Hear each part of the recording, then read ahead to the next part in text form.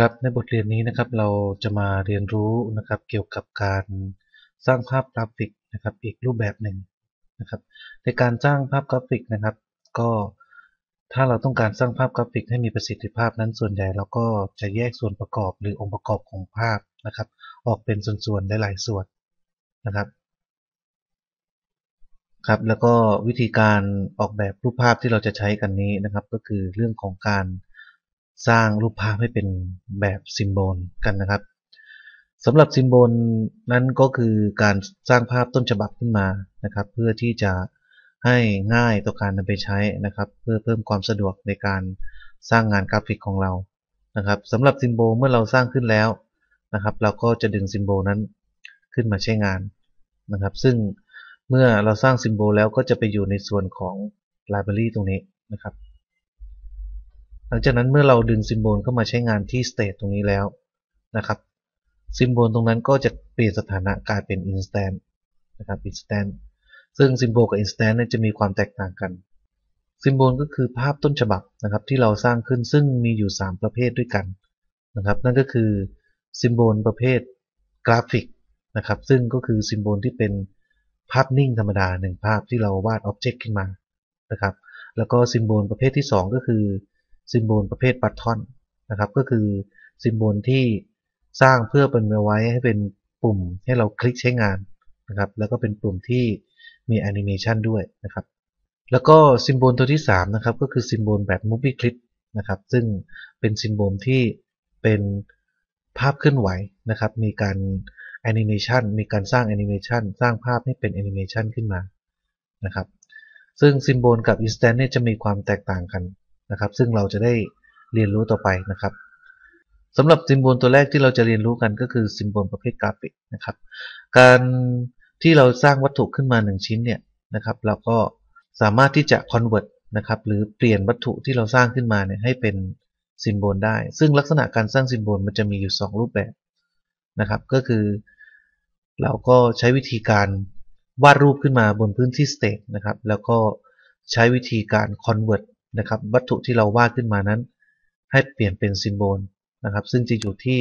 เมนู modify แล้วก็ convert ตัว symbol ตรงนี้นะครับหรือใช้ปุ่ม function F8 ก็ได้นะครับ ส่วนอีกวิธีหนึ่งก็คือการสร้าง symbol ขึ้นมาใหม่เลยนะครับก็อยู่ที่เมนู insert นะครับใช้คำสั่ง new symbol หรือว่า control F8 ตรงนี้นะครับในการสร้าง symbol ขึ้นมาใหม่ครับเรามาดูวิธีแรกกันก่อนนะครับ สมมุติว่าผมต้องการสร้างภาพกราฟิก นะครับที่เป็นภาพต้นฉบับขึ้นมา เพื่อที่จะ convert นะครับให้เป็น symbol นะครับเรามาดูครับครับสมมุติว่าผมต้องการวาดรูปต้นไม้ขึ้นมาสักหนึ่งต้นครับผมลองทดสอบนะครับวาดเป็นรูปต้นไม้มา ผมใช้เครื่องมือ Overtune ครับในส่วนของการกำหนด property ครับต้นไม้ครับกำหนดสีนะครับสีเส้นเป็นสีดำแล้วก็ขนาดสโตกครับ3พิกเซลนะครับแล้วผมก็ วาดรูปมา แบบนี้ครับ จากนั้นผมใช้ Line Tool ครับในการวาดเป็นต้นไม้นะครับ ก็กำหนดเป็นสัก10พิกเซลนะครับวาดเป็นต้นไม้ขึ้นมา แบบนี้นะครับ แล้วก็ใช้เครื่องมือ selection tool ในการขยับวัตถุนะครับดับเบิลคลิกนะครับ แล้วก็ขยับวัตถุ ก็ได้ต้นไม้ขึ้นมาหนึ่งต้นเรียบร้อยแล้วนะครับ ผมก็จะเปลี่ยนต้นไม้ต้นนี้นะครับ ให้เป็นซิมโบลขึ้นมา ก็เลือกวัตถุทั้งหมดครับ เสร็จแล้วก็มีหลายวิธีด้วยกันที่จะเปลี่ยนเป็นซิมโบลนะครับ ก็เลือกวัตถุแล้วอาจจะคลิกขวาที่วัตถุนะครับ เลือก convert to symbol นะครับ หรือใช้วิธีเลือกวัตถุแล้วไปที่เมนู modify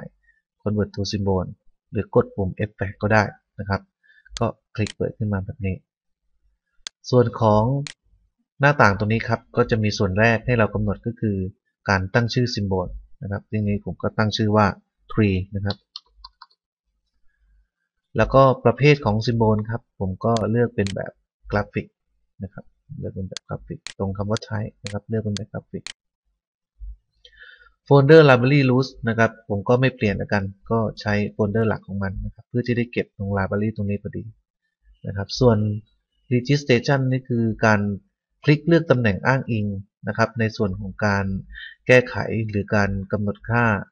ในหน้าจอของที่อยู่ในโหมดของ symbol นะครับ ซึ่งในที่นี้ผมก็เลือกไว้ที่ตรงตำแหน่งตรงกลางแล้วกันนะครับ แล้วก็เสร็จสิ้นแล้วก็กดโอเคครับวัตถุของเราก็ถูกเปลี่ยนเป็น symbol เรียบร้อยนะครับ สมมุติว่า symbol ที่ผมสร้างขึ้นผมลองลบไปก่อนนะครับ เมื่อผมจะเรียกใช้งาน symbol นะครับ ผมก็ไปที่แท็บ Panel Library ครับ symbol ของเราอยู่นี่นะครับ ลักษณะ symbol ประเภทแรกก็คือประเภทกราฟิกนั้นก็จะมีลักษณะของไอคอนแบบนี้ครับนะครับวิธีใช้งานก็คลิกเลือก symbol ที่ต้องการใช้ครับแล้วก็ลากมาไว้ที่ Stage ครับเมื่อมาวางไว้ที่ Stage แล้วซิมโบลที่อยู่ตรงนี้ครับเราจะเปลี่ยนสถานะเป็น Instant ทันที เดี๋ยวเรามาดูกันว่า Instant มีความแตกต่างจากซิมโบลยังไง ผมคิดว่าผม เลือกใช้หลายตัวแล้วกันนะครับเป็นซิมโบลเป็น Instant ตัวที่ 2 Instant ตัวที่ 3 Instant ตัวที่ 4 นะครับ แล้วผมลองปรับแต่ง Instant ดูครับ สมมติ Instant ตัวที่ 1 เนี่ย ผมปรับแต่งนะครับ ใช้เครื่องมือ Free Transform ครับ ปรับแต่งนะครับ เห็นไหมครับว่าพอเราปรับแต่ง Instant แล้ว Instant ตัวที่1เนี่ยเมื่อเราปรับแต่งเสร็จก็จะไม่มีผลกระทบไม่มีผลกับตัวอื่น แล้วก็ไม่มีผลกับตัวซิมโบลด้วยนะครับซึ่งจะค่อนข้างจะเป็นอิสระจากกันในส่วนของ Instant ตรงนี้นะครับสมมติรูปนี้ผมก็ปรับแต่งเหมือนกันนะครับให้มีลักษณะของต้นไม้เรียงกันแบบนี้ จะขยายย่อจะหมุนก็ได้นะครับนะเพื่อให้ได้สิ่งที่เราต้องการนะครับ อันนี้ก็คือลักษณะการทำงานของ Instance ก็จะเป็นแบบนี้นะครับ ก็จะมีความแตกต่างกับ symbol ผมเปลี่ยนเครื่องมือเป็น Selection Tool ครับ คราวนี้ เราทราบแล้วว่าการที่เรานำ symbol มาใช้งานบน stage เนี่ย มันคือ Instance นะครับ วัตถุที่อยู่บน stage เนี่ย ที่เรา Copy มาจากตัว symbol เนี่ย มันคือ Instance ซึ่งเมื่อมีการปรับเปลี่ยนรูปร่างรูปทรงต่างๆ มันก็ไม่มีผลกระทบกับ Instance ตัวอื่นๆ หรือว่าไม่หรือว่ามีผลกระทบกับตัว symbol มันจะไม่มีเลย นะครับ แต่ถ้าในที่นี้ครับผมต้องการปรับเปลี่ยนแก้ไขตัว symbol นะครับ มันก็จะทำให้ Instance อื่นๆ ที่ถูกใช้งานอยู่เปลี่ยนแปลงไปทั้งหมดนะครับ อย่างเช่น ผมต้องการจะแก้ไข Instance ต้องการจะแก้ไข Instance ตัวนี้ครับ ซึ่งผมก็ต้องเข้าเข้าไปแก้ไขในตัว symbol ครับ เราจะมาดับเบิลคลิกที่ตัว Panel ตรงนี้ก็ได้ครับ หรือว่าดับเบิลคลิกที่ตัว Instance ตัวใดตัวหนึ่งก็ได้ นะครับที่มาจาก symbol ตัวเดียวกันนะครับผมดับเบิลคลิกเข้าไป ตัว Instance ที่เราดับเบิลคลิกเข้ามานะครับก็จะเป็นก็จะทำให้เรานั้นเข้ามาอยู่ในโหมดของการปรับปรุงแก้ไขในส่วนของ symbol นะครับซึ่งในที่นี้ก็คือ symbol ที่ชื่อว่า tree ซึ่งเป็นประเภทกราฟิก ส่วนตัว instance ตัวอื่นครับเราจะไปยุ่งกับมันไม่ได้เลยนะครับจะไม่มีการปรับปรุงแก้ไขอะไรมันได้เลย เพราะว่าเราเข้ามาแก้ไขในตัวของ symbol แล้ว นะครับ สมมติผมคลิกเลือกนะครับ สีของใบไม้ แล้วผมเปลี่ยนสีใบไม้เป็นสีอื่นนะครับ เมื่อเรามีการแก้ไขตัว symbol เมื่อไหร่ ก็จะมีผลกระทบกับวัตถุ instance ตัวอื่นที่ถูกนำมาใช้งานใน stage นะครับเราลองกลับไปที่ scene นะครับ ซึ่งวิธีกลับไปก็มี 2 รูปแบบครับดับเบิลคลิกบนพื้นที่ว่างนะครับ หรือว่าคลิกที่คำว่า scene ตรงนี้ก็ได้ ก็จะเห็นว่าเมื่อมีการเปลี่ยนแปลงแก้ไข symbol เมื่อไหร่ก็จะทำให้มีผลกระทบกับตัว Instance ครับอันนี้คือ symbol ตัวแรกครับก็คือ symbol ประเภทกราฟิก เรามาดู symbol ประเภทต่อไปกันบ้างครับ ก็สร้างงานขึ้นมาใหม่นะครับ file new action script 0.0โอเคนะครับคราวนี้เรามาดูวิธีการสร้าง symbol ตัวที่ 2 กันบ้างครับ ก็คือ symbol ประเภท button นะครับผมอาจจะใช้วิธีสร้างอีกแบบหนึ่งนะครับ เพื่อสร้างความเข้าใจนะครับโอเคครับ วิธีสร้างก็ไปที่เมนู insert นะครับเลือก new symbol นะครับหรือว่าจะเลือก control effect ก็ได้นะครับ ใช้ที่แป้นคีย์บอร์ดกด control effect ก็ได้นะครับ คลิกเข้ามาครับ เสร็จแล้วผมก็ตั้งชื่อเลยครับ ผมอาจจะตั้งชื่อเป็นบัตทอนนะครับแล้วก็ตรงท้ายครับ ผมเปลี่ยนเป็นbutton ครับประเภท button ครับเมื่อกำหนดเรียบร้อยแล้วนะครับ ก็กดปุ่มโอเคนะครับ เราก็จะเข้ามาสู่โหมดทำงานในส่วนของ symbol นะครับ ส่วนลักษณะของ symbol ที่เป็นประเภท button นั้นครับก็จะมีลักษณะแบบนี้ครับ ก็จะเป็นรูปนิ้วจิ้มลงไปที่ปุ่มแบบนี้นะครับ อันนี้ก็คือ symbol ประเภท button ในก่อนที่เราจะสร้างตัว symbol ประเภท button เราก็มาดูในส่วนของไทม์ไลน์ก่อนครับ ก็จะเป็นลักษณะแบบนี้ นะครับก็จะมีสถานะให้เราสร้าง 4 สถานะด้วยกัน ซึ่งสถานะ up นะครับก็คือสถานะที่มันโชว์สภาพอยู่นะครับโชว์เมนูหรือโชว์ปุ่มให้เราเห็นนะครับ สถานะที่ 2 ก็คือสถานะ over ก็คือสถานะที่เราเอาเมาส์ขึ้นไปไว้เหนือปุ่มนั่นเองนะครับ แล้วก็สถานะดาวก็คือสถานะที่เราคลิกลงไปที่ปุ่ม จะให้มันเกิดอะไรขึ้น แล้วก็สถานะสุดท้ายนะครับ สถานะฮิตก็ ใช้ในกรณีที่เราวาดวัตถุขึ้นมาแล้วไม่ไม่เป็นรูปทรงนะครับ อย่างเช่นเป็นตัวหนังสือซึ่งทำให้เกิดช่องว่าง เมื่อเราเอาเมาส์ไปชี้ไม่ตัวไม่ตรง ไม่ตรงในส่วนของเส้นที่เป็นตัวหนังสือเนี่ยมันอาจจะไม่ทำงานนะครับ ซึ่งเราก็ใช้วิธีสร้างนะครับสร้างกรอบระบายสีไว้ ให้รู้ว่าภายในกรอบสีที่เราระบายเนี่ยตรงสถานะฮิตเนี่ยนะครับ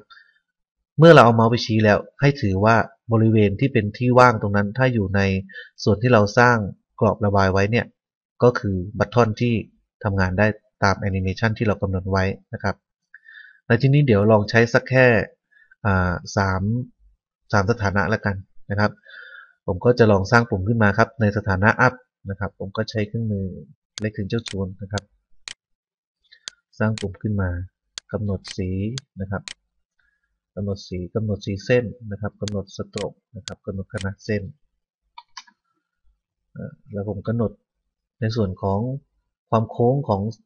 ของมุมนิดนึงครับนะครับกำหนดเป็น 50ครับ แล้วก็มาสร้างบัตทอนแบบนี้นะครับ เป็นเครื่องมือเป็น selection tool ครับ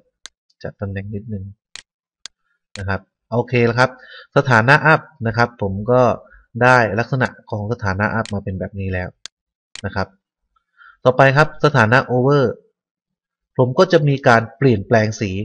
นะครับ แล้วก็เปลี่ยนแปลงขนาดของบัตทอนนิดนึงนะครับ วิธีการเพิ่มก็เหมือนเดิมครับ เหมือนเราเพิ่มคีย์เฟรมทั่วไปครับ ก็กดปุ่ม F6 นะครับ หรือว่าเลือก insert keyframe ก็ได้นะครับกดปุ่ม F6 สถานะ over ครับ ผมก็เปลี่ยนสีนิดนึงครับ เปลี่ยนจากสีแดงนะครับเป็น สีเหลืองแบบนี้ แล้วก็ผมก็มีการขยายขนาดของบัตทอนนิดนึงให้โตขึ้นนิดนึงนะครับ เพื่อให้ดูเหมือนกับว่า พอเราเอาเมาส์ไปชี้แล้วมันโตขึ้นนะครับ แบบนี้นะครับ สถานะอัพเป็นแบบนี้ เมื่อเราเอาเมาส์ไปอยู่เหนือปุ่มก็จะเป็นแบบนี้นะครับ ต่อไปสถานะดาวก็คือสถานะที่เราคลิกปุ่มลงไปนะครับ ผมก็ insert keyframe ครับ โดยการกดปุ่ม F6 หนึ่งครั้ง นะครับสถานะดาวผมก็เปลี่ยนสีของวัตถุครับนะครับก็เลือกแล้วก็เปลี่ยนสีของวัตถุเป็นสีเขียวนะครับ แล้วก็ย่อวัตถุให้เล็กลงไปนิดนึงนะครับ เหมือนเวลาเรากดแล้วให้ปุ่มมันยุบลงไปนะครับโอเคครับ แล้วก็จัดกลางๆนิดนึงครับ โอเค เราก็ได้ 3 สถานะเป็นที่เรียบร้อยครับ เมื่อ ปุ่มโชว์ขึ้นมาก็เป็นสถานะ up แบบนี้ สถานะ over นะครับตอนที่เมาส์ไปอยู่เหนือปุ่ม แล้วก็สถานะที่เราคลิกลงไป ครับเราลองมา test movie กันดูครับ เราก็กลับไปทำงานที่ scene นะครับ ก็คลิกเลือก scene แล้วเราก็ไปที่ Panel Library ครับดึง symbol button ของเราครับมาใช้งาน ก็วางไว้ที่บริเวณกลางนะครับ แล้วก็ลอง Test Movie ดูครับ Control Enter ดูครับ อเคนะครับ ตอนนี้คือสถานะ Up ครับที่ปุ่มมันโชว์อยู่ ต่อไปสถานะ Over ก็คือเราเอาเมาส์ขึ้นไปไว้เหนือปุ่มนะครับ over เห็นไหมครับ up over up over นะครับ แล้วก็ตัวเมาส์พอยเตอร์ของเราจะเปลี่ยนเป็นรูปมือด้วยนะครับ แล้วก็สถานะคลิกครับ เรากำหนดไว้เป็นสีเขียว ลองคลิกดูครับ เห็นไหมครับ คลิกค้างไว้ครับ นะครับ up over click down นะครับ up over down นะครับ ก็คือการคลิกนั่นเอง ครับนี่คือซิมโบลประเภทบัตทอนนะครับเอาละครับมาดูตัวสุดท้ายกันครับ ก็คือซิมโบลประเภท Movie Clip นะครับ ก็สร้างงานขึ้นมาใหม่ครับ เดี๋ยวผมจะลองสร้าง movie clip ขึ้นมาสักตัวหนึ่งนะครับ ซึ่งเป็นรูปผีเสื้อแล้วกันง่าย ๆ นะครับ สร้างง่าย ๆ เราวาดรูปผีเสื้อขึ้นมานะครับ เอาเป็นตัวการ์ตูนง่ายๆแล้วกันนะครับ ผมก็ใช้เครื่องมือ overtune ครับเปลี่ยนสีนิดนึงครับ ตัวผีเสื้อนะครับการ์ตูนคือจินตนาการครับไม่ต้องเหมือนจริงมากมายนะครับผมก็วาดรูปง่ายๆขึ้นมาแบบนี้ครับกำหนดใช้เส้น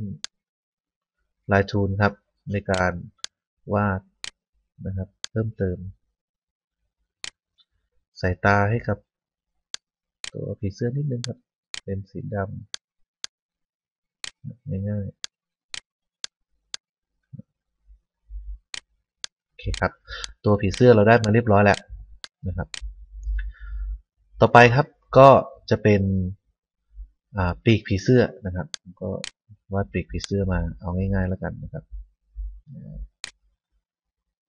เอาปีกผีเสื้อผมเปลี่ยนสีนิดนึงครับในการกำหนดเปลี่ยนสี ตรงนี้นิดนึงเปลี่ยนให้เป็นสีชมพูนะครับได้แล้วปีกผีเสื้อก็เอามาต่อไว้ครับ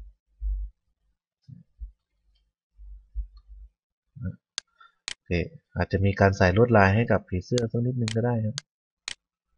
กำหนสีนะครับกำหนสีเส้นสักหนึ่งพิกเซลใส่ลวดลายให้กับผีเสื้อไว้กับปีกนะครับ